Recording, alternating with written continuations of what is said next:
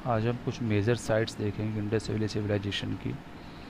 उन साइट्स को मेंशन करेंगे, फिर उनके बारे में थोड़ी सी डिटेलिंग्स देख लेंगे, जो कि एग्ज़ाम के परस्पेक्टिव से इंपॉर्टेंट होता है।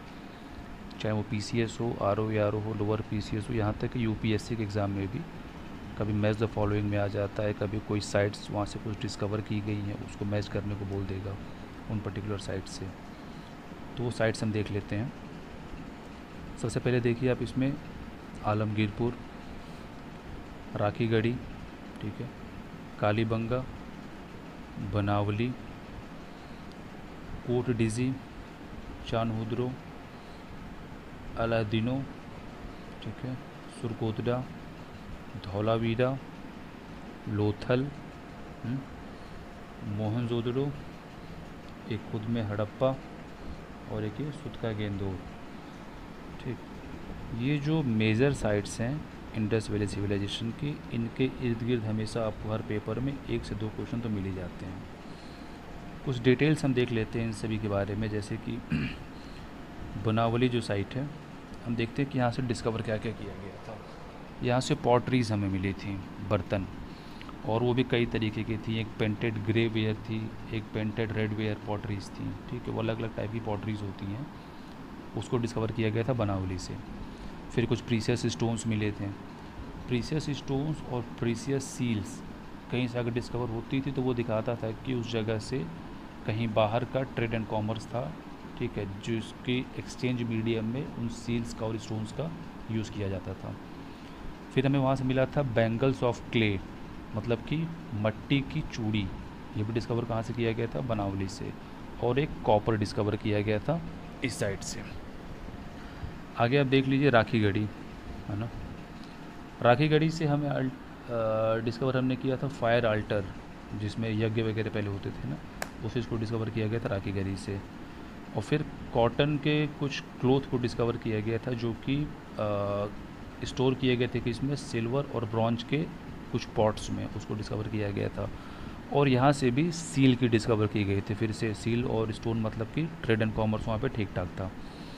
अगला साइट हम देख लेते हैं कालीबंगन। कालीबंगन है राजस्थान में। अच्छा ये बनावली और राखीगढ़, ये दोनों हरियाणा में है।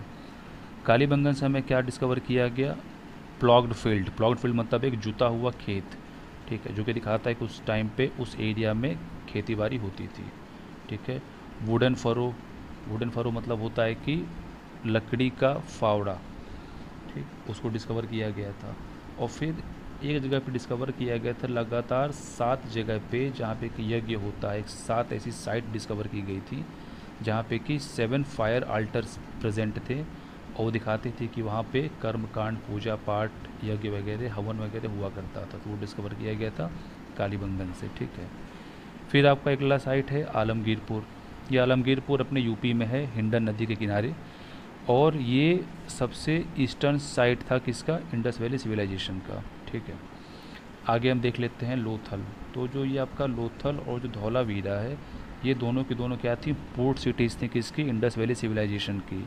यहाँ से सबसे ज़्यादा पोर्ट जो कि बाहर से होते थे, क्योंकि हरप्पा के टाइम में कुछ ट्रेड हम लोग ईरानियन सिविलाइजेशन से भी किया करते थे, मेसोपोटामियन सिविलाइजेशन से किया करते थे।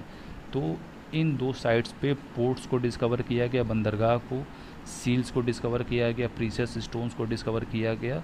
तो ये दो साइट्स दिखाते हैं कि हड़प्पा टाइम में भी अपना फॉरेन से, जो कि मेसोपोटामियन सिविलाइजेशन थी ईरानियन सिविलाइजेशन थी, वहाँ से अपना ट्रेड एंड कॉमर्स चलता था। ये जो अलादीनो है ना, ये सबसे स्मॉलेस्ट साइट है इंडस वैली सिविलाइजेशन की, ठीक? मोहन जोदड़ो से वैसी अच्छी खासी डिस्कवरीज की गई हैं, जैसे कि एक ब्रॉन्ज के डांसिंग गर्ल का इमेज निकला था, एक बियर्ड प्रिस्ट का ही स्टेचू डिस्कवर किया गया था फ़ोटो डिस्कवर किया गया था। फिर आपका द ग्रेट बाथ वो भी मोहन जोदड़ो में है। ग्रेन्स को स्टोर करने के लिए जो स्टोरेज बनाए गए थे, वो भी डिस्कवर किया गया मोहन जोदड़ो से, ठीक? और ये जो एक आपका सुदका गेंदोर है ना, ये आपका सबसे वेस्टर्न साइड है। सबसे वेस्टर्न साइट है किसका? इंडस वैली सिविलाइजेशन का।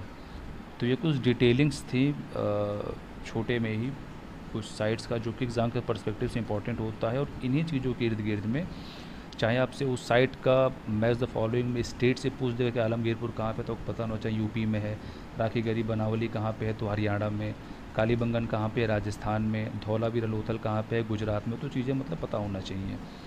ठीक है और एक क्वेश्चन पूछा करता है इसमें, जो कि डायरेक्शन के बेसिस से पूछता है, जैसे कि आपका ये नॉर्थ हो गया नॉर्थ साउथ ईस्ट और वेस्ट ठीक?